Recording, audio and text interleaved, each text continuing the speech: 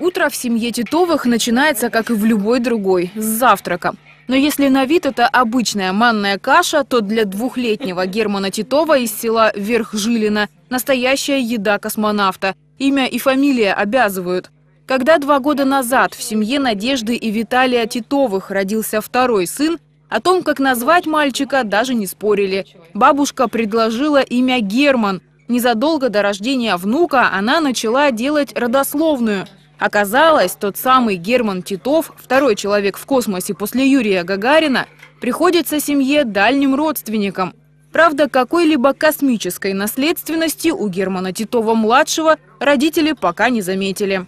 Да, обычный ребенок, ну, пока еще ничего такого не заметно, что что-то у него это, ну, играет, бегает. Ну, когда, скажи, деремся с братом, скажи, без, без этого никуда.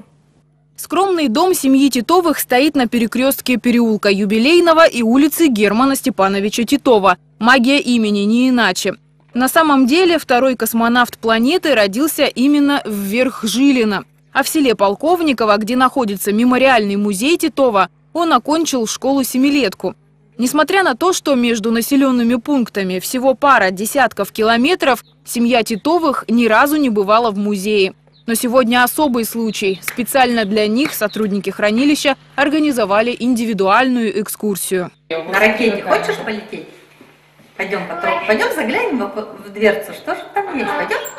Старшему брату Германа Титова, шестилетнему Захару, уже интересно посмотреть, на какой ракете именитый родственник полетел в космос, какой скафандр был на нем и как выглядел корабль «Восток-2» изнутри – а маленькому Герману пока больше по душе то, что увлекало его космического тезку в раннем детстве.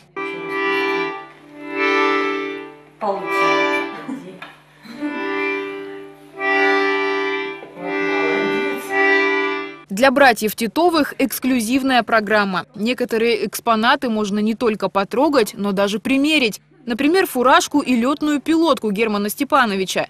Работникам музея никогда не доводилось проводить экскурсии для таких гостей. Поэтому родственникам космонавта позволили немного больше, чем обычным посетителям. У меня возникли такие ощущения, что э, вот я вижу живого Германа Степановича Титова в детстве, потому что, ну, похож не внешне, но вот это такой же возраст, такая же непосредственность. И у меня искренне появилось такое желание, чтобы у нашего маленького Германа Титова было большое счастливое будущее. А у семьи Титовых теперь возникло искреннее желание вернуться сюда снова, когда Герман Титов-младший немного подрастет и уже будет осознавать родственную связь с космосом. Елена Лопатина, Роман Хайрулин. Новости.